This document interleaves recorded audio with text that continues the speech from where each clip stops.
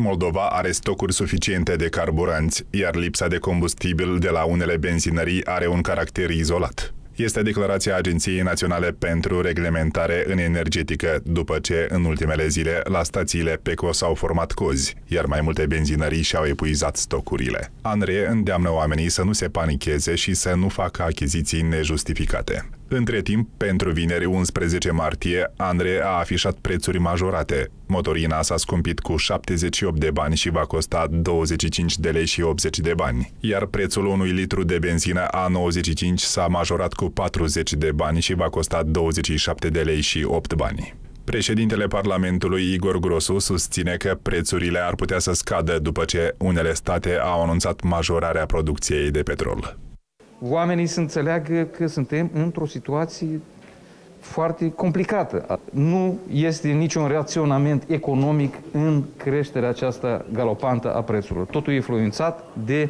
război. Foarte mult sperăm să așeze la masa tratativilor și să oprească ostilitățile. Asta o să calmeze piețele, o să calmeze agenții economice.